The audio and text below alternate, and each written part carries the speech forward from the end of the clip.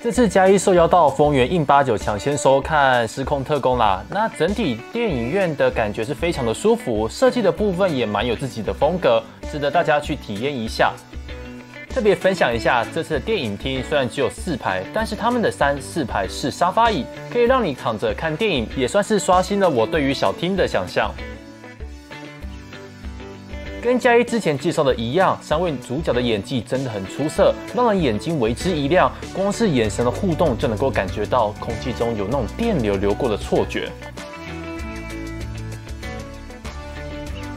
由于疫情的关系，许多大片都延后上映，也间接影响到我们进戏院的意愿。但是《失控特工》带领我们重回重成本打造的娱乐大片，尤其这部是俄罗斯的电影，也让我们知道，并不是只有好莱坞能够拍出大片。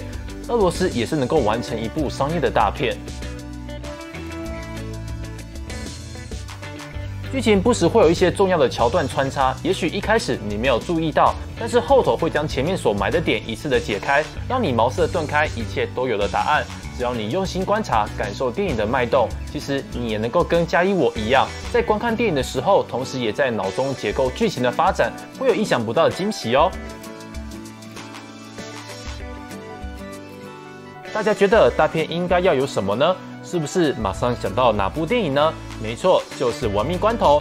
飞车跨国追逐是该系列的最大看头，而《失控特工》也没有少了这两样，让我们可以看得目瞪口呆，刺激不断。以上是嘉一看完《失控特工》的无雷想法，这部应该是六月最娱乐性质的大片了。